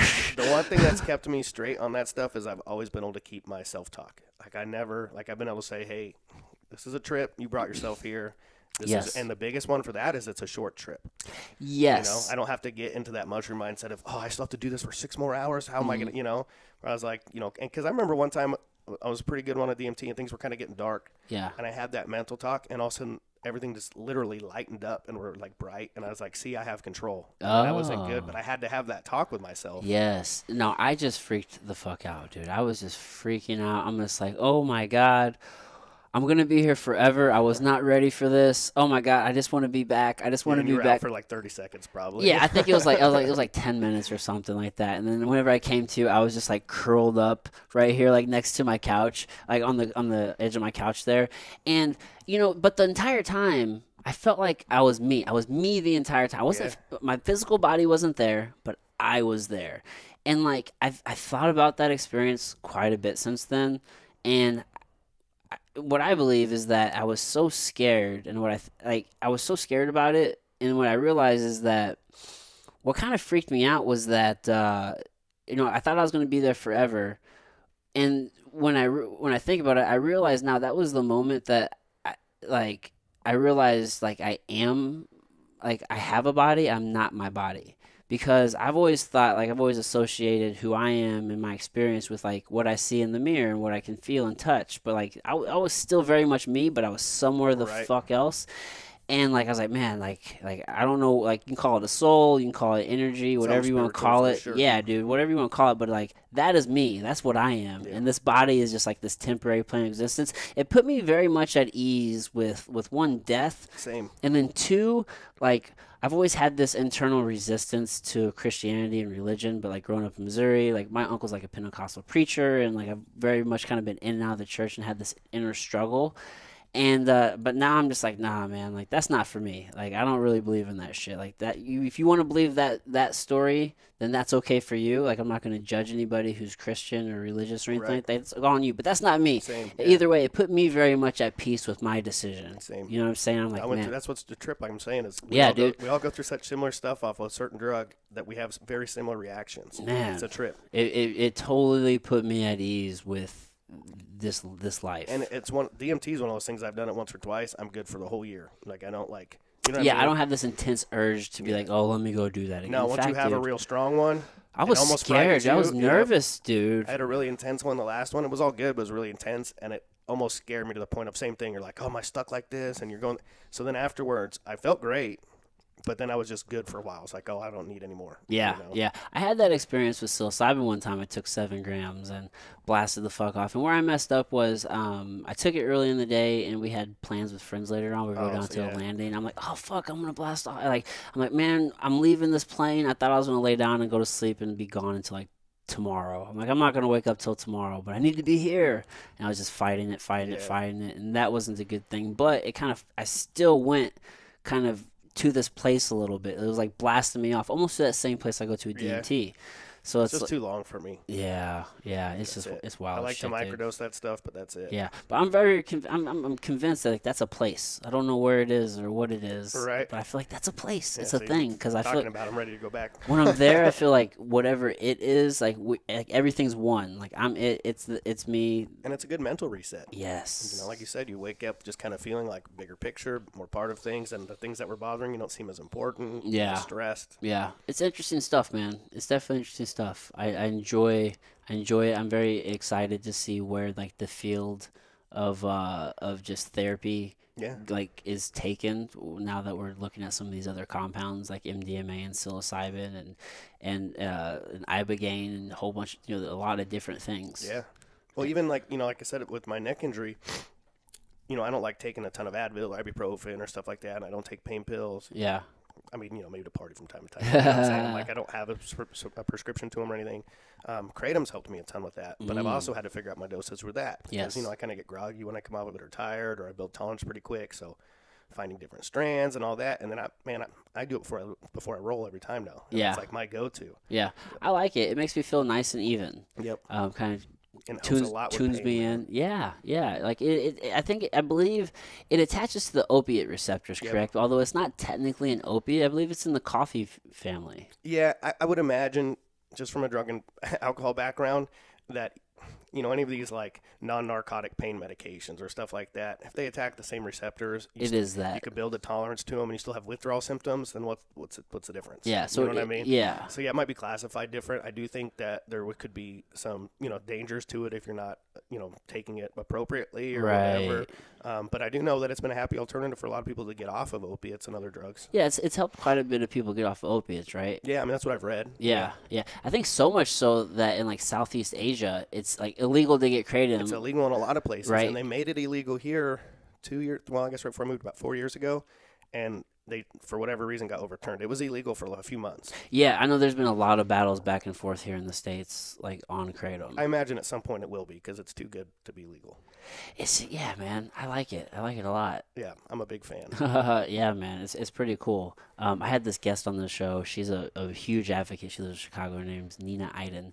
She went through this thing, or she's going through this thing. It's a very severe case. It's like this uh, this steroidal withdrawal where like she was prescribed like topical steroids for like a skin issue and um, her skin basically became like addicted to it and now um, like these withdrawal symptoms occurred where she becomes extremely like um, flared and rashed and inflamed and like it caused her to like lose all at what like at the height and worst of it she's she's she's made leaps and bounds but like at the height and worst of it like she had like she looked like she's just like very scarred like the skin was flaky she lost her hair um it was she was like she almost looked like a, like a like a cancer patient Yeah, or that's wild. yeah, man, it was just wild, and it was from these steroids.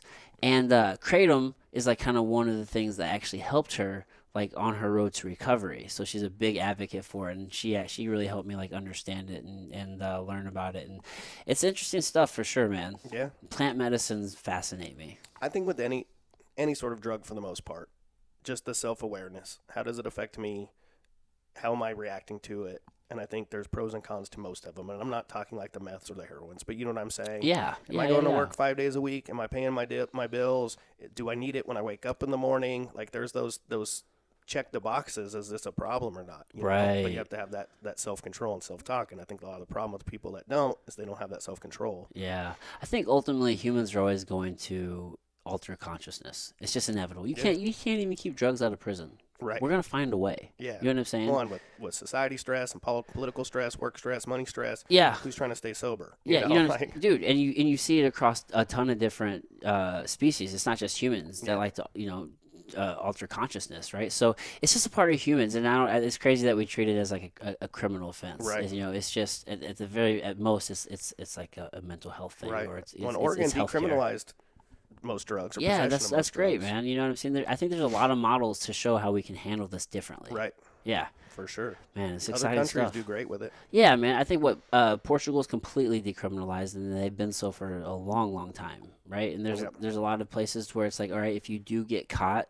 with with drugs, it's like, all right, you're not going to jail, but we're gonna we're gonna you know you're gonna get a fine, you're gonna get an option to seek treatment, Yeah, right? that's what Oregon is. The problem is, is they didn't balance out the social services with it too. So right. Now there's not enough drug and alcohol counselors or therapists in the area to, to meet the needs. You actually have to support the system, Yeah. right? So I mean, it, you know, they're learning as they go. Yeah. I get that it's new, but Exciting times, dude. it's positive for sure. Yeah, man. Well, dude, I want to be respectful of your time. We've been talking for a while now. It's uh, it's it's almost six o'clock. All right. Dude, this has been so fun. For sure. Thank you so much for taking the time, Yeah. man. I'd love to do it Um, again. Sometime maybe talk about like my injuries and coming back and training after dude. Yeah, full spinal fusion. And yeah. You've had a crazy ride, though. We've else, only yeah. like scratched the surface, bro. So yeah, anytime, bro. Seriously. Cool. Um, is there any but anything you want to direct the people towards, or anything like that? the place they can check you out, or Uh, OG underscore mooch on Instagram. There you know, uh, what you see is what you get there. right on, my man. But no, that's about it okay, cool. Um, well, right on, man. Thanks again. for sure, homie. All right, everybody. Bye.